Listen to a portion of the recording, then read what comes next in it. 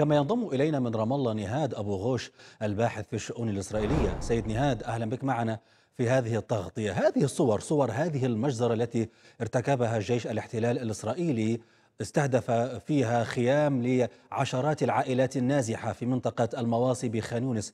هل هذه الصور تصل للعالم؟ صباح الخير. يعني لا شك أنها تصل يعني إلى أجزاء واسعة من العالم. اليوم لم يعد العالم آه، محتكرا من قبل وسائل الإعلام الكبرى المنحازة غالبا للطغم الاستعمارية ولإسرائيل كما هي محطات التلفزيون الأمريكية ووكالات الأنباء الرئيسية، اليوم هناك آه، إعلام اجتماعي وهناك إعلام صحافة المواطن وهناك عشرات يعني الأدوات آه، التي يمكن من خلالها وصول المعلومات الصحيحة والدقيقة في موعدها في وقت حصولها. ولعل هذا هو ما يحرك آه، ثورة الطلاب العارمة في الولايات المتحدة والتحركات الجماهيرية المؤثرة التي بعضها شارك فيها مئات الألوف في مدن وعاصم عواصم أوروبا.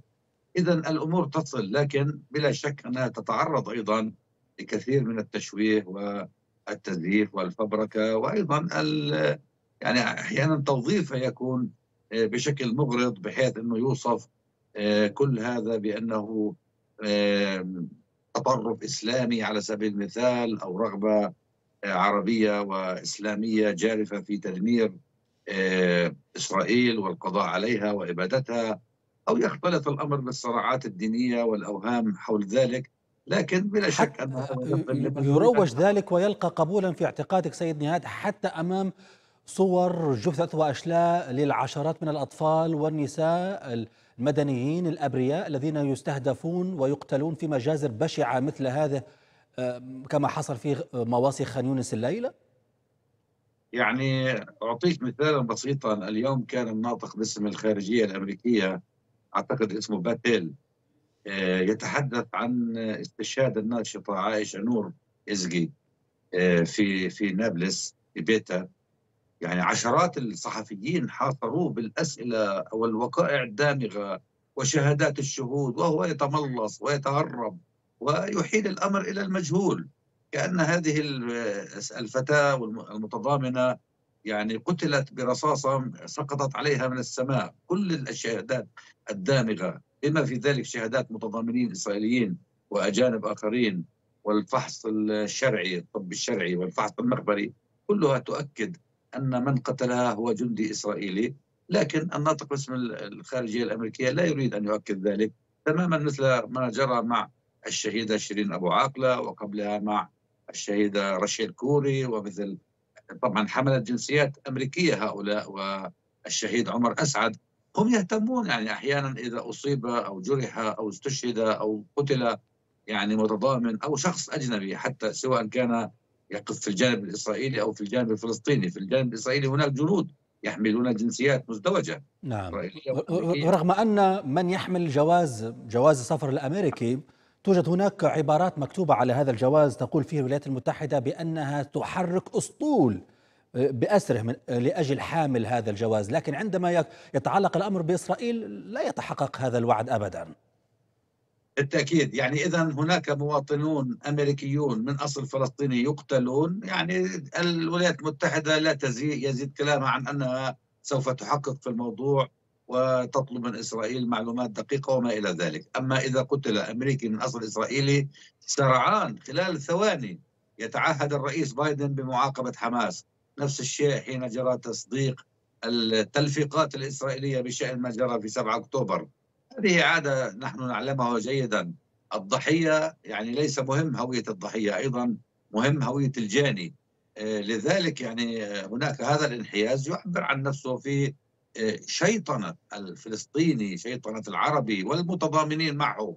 هم أصلا يعني إذا كانت الإدارة الأمريكية اتهمت النخب الأمريكية الطلاب الأمريكيون وهم يعني طلائع المجتمع الأمريكي هؤلاء هم يعني خيرة أبناء المجتمع الأمريكي الذين يقودون الولايات المتحدة خلال العقود القادمة يصورون على أنهم يحركون من قبل آه، قوى آه، ظلامية وإيران وأنهم معادون للسامية بينما بينهم يهود كانوا يتظاهرون ضد الفضائع الإسرائيلية.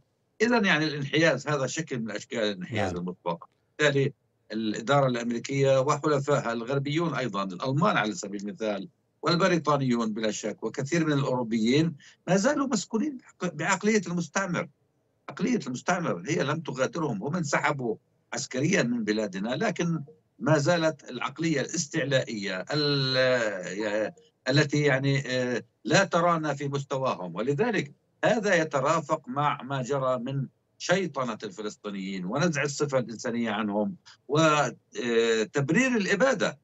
يعني تسويغ الإبادة باعتبارها عملا مشروعا وامتدادا لحق آه، إسرائيل في لكن سيد نهاد ألا تتفق معي بأن هذه المواقف حتى على الصعيد الأخلاقي تغيرت منذ بدء الحرب ومع توالي المجازر والغارات الإسرائيلية على الفلسطينيين ومقتل العشرات والعشرات منهم. أصبح الموقف الدولي يتغير لصالح الفلسطينيين وضاغط على إسرائيل. على سبيل المثال الأمين العام للأمم المتحدة أنطونيو غوتيريش مؤخرا قال بأن الدمار والموت في قطاع غزة بسبب الحرب الإسرائيلية على القطاع هو أسوأ ما شاهده منذ توليه منصبه كأمين منذ عام 2017 يعني لكن في المقابل هل العالم أستاذ نهاد استسلم أمام إسرائيل أمام الحكومة الإسرائيلية أمام رئيس الوزراء بنيامين نتنياهو؟ وتركوهم يرتكبوا كل هذه المجازر بحق الفلسطينيين أم ماذا؟ هناك تفاوت الحقيقة تفاوت ملحوظ يعني مثلا هناك تشنج وتعنت وإصرار آه، أمريكي ألماني على آه، تبني الرواية الإسرائيلية والدفاع عنها وتقديم كل أشكال الدعم لإسرائيل على الرغم من ارتكاب هذه الجرائم وهذه الفظائع وهناك تشريعات تعمل هذه مثلا ألمانيا هناك تشريعات تحرم وتجرم آه، العمل لصالح فلسطين ورأيناهم كيف يتعاملون بمنتهى الفظاظة وبمخالفة كل القواعد الديمقراطية والإنسانية في منع آه، شخصيات فلسطينية ومتضامنين مع فلسطين من النشاط. معارض فنية جوائز تقدم لشخصيات فلسطينية مؤتمرات تضامن مع فلسطينيين منعت ولعل المثال المشهور هو ما جرى مع الطبيب المعروف والمشهور الدكتور غسان أبو زيت الذي أصبح رئيس جامعة جلاسكو أيضا منع من دخول فرنسا. إذا هناك تفاوت لكن هناك إدراك أيضا أن أزمة الشرق الأوسط هي أشبه بمولد للأزمات التي يمكن أن تنتشر لتصيب الإقليم وتمثل الأوروبيين أنفسهم في عقر دارهم لأنه الظلم والإجحاف واستمرار هذه الأزمة والانحياز الغربي لها سيولد موجات من التطرف أولا وموجات من الهجرة ثانيا وبالتالي أيضا يضع هذه الدول الأوروبية وحكامها في آه، مواجهة مع أولا مع ما يدعونه من قوانين ومن معاهدات ومن مبادئ ديمقراطية ويكشف ازدواجية المعايير فهم يطبقون آه، نمطا من الأحكام والقوانين والمواقف تجاه روسيا على سبيل المثال. بينما يطبقون عكسها تجاه إسرائيل. أنا أقول جوابا على سؤالك هناك تغيرات لكنها ليست كافية إلى الدرجة التي آه، ينحاز فيها يعني دوائر القرار آه، إلى ما يريده الرأي العام. هناك فجوة ما بين الرأي العام وما بين متخذي القرار. هذا الأمر نلمسه بوضوح كامل في الولايات المتحدة حيث أن القاعدة الشبابية والاجتماعية والطلابية هي أقرب إلى تبني الموقف الفلسطيني وإدانة إسرائيل بينما متخذي القرار ولأسباب تتعلق بالتمويل هنا والفساد أيضا فساد يعني بالنسخة الأمريكية يمنع الإدارة ومراكز القرار تحديدا في الكونغرس وفي الطغم الحاكمة المالية والإعلامية من تبني موقف ضد إسرائيل. طيب إسرائيليا وحضرتك باحث في الشؤون الإسرائيلية سيد نهاد أبو غوش. كيف يتم التعاطي مع ارتكاب جيش الاحتلال الإسرائيلي هذه المجازر بحق المدنيين في قطاع غزة؟ حتى على الصعيد الإعلامي كيف يبررون ذلك أو كيف يقدمون هذه المجازر آه، آه، للإسرائيليين أنفسهم؟ يعني أولا كان هناك تبرير لهذه الجرائم من خلال شيطنة الفلسطينيين وتحميل الفلسطينيين جميعا مسؤولية ما جرى في 7 أكتوبر. ثانيا هناك نزع للصفة الإنسانية عن الفلسطينيين. وهناك من قال على الملأ للرأي العام أنه لا يوجد آه، آه، أبرياء في في غزة على سبيل المثال. حتى نتنياهو قال قال 83% من سكان الضفة يؤيدون ما فعلته حماس. إذا ويبرر آه، معاقبة كل سكان الضفة بناء على موقفهم السياسي. هناك طبعا من دعا إلى أعتقد هذا مشهور يعني الشريط الذي بث من خلال وسائل الإعلام الإسرائيلية رسمية أنه الطفل المقاتل الذي يقاتلهم الآن في غزة هو الشخص الذي تركوه طفلا ولم يقتلوه في الحروب السابقة.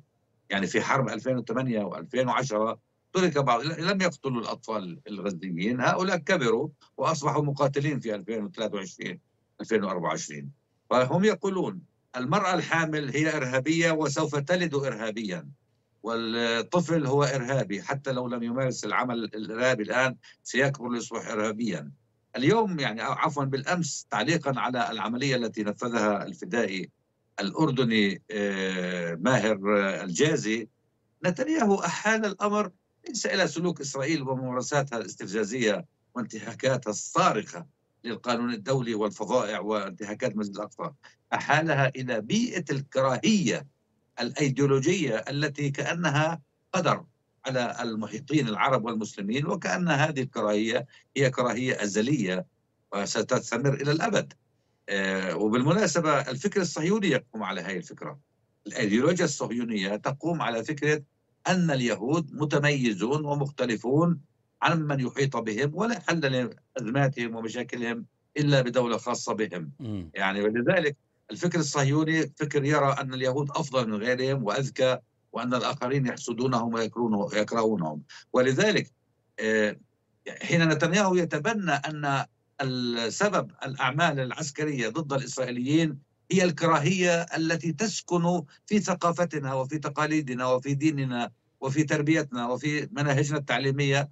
فإذا هو يعتبر من المبرر أن آه، يسوغ ويبرر أعمال القتل والإبادة التي ترتكبها إسرائيل. لا ترتكبها لكن في المقابل سيد نهاد قبل أيام قليلة كان كانت هناك مظاهرة خرج فيها نحو نصف مليون إسرائيلي ضد بنيامين نتنياهو وحكومته. لا يبدو بأن كل هذا التطرف يستجاب له في الشارع الإسرائيلي. أليس كذلك؟ هو الحقيقة طبعا المظاهرة شارك 500 ألف في تل أبيب و250 ألف في باقي المدن. هذه أكبر مظاهرة في تاريخ إسرائيل. لكن لنكن هنا آه، حذرين أن هذه المظاهرة كانت من أجل إعطاء الأولوية لقضية الأسرى. هم يقولون أعيدوا لنا الأسرى ثم أكملوا الحرب. بمعنى أن هؤلاء الذين يعارضون سياسة نتنياهو وإدارته للحرب لا يعارضون الحرب وأهداف الحرب. بل أن يعني اليوم سمعنا بيني جانس وهو أحد أبرز المعارضين يهدد ويتوعد ويدعو إلى آه، التفرغ لمواجهة لشن الحرب على لبنان. فإذا هؤلاء يعارضون نتنياهو وطريقة إدارته للحكم ولا ولا يعني يكنون أي تعاطف أو حتى لا يملكون برنامجا بديلا يقوم على السلام بل هم يعارضون طريقة إدارة الحرب وتهميش نتنياهو لموضوع الأسرى باعتباره شأنا ثانويا وتركيزه على القضاء على حماس بدل تركيز على استعادة الأسرى. هم يقولون دعونا نستعيد الأسرى وبعد ذلك نكمل الحرب.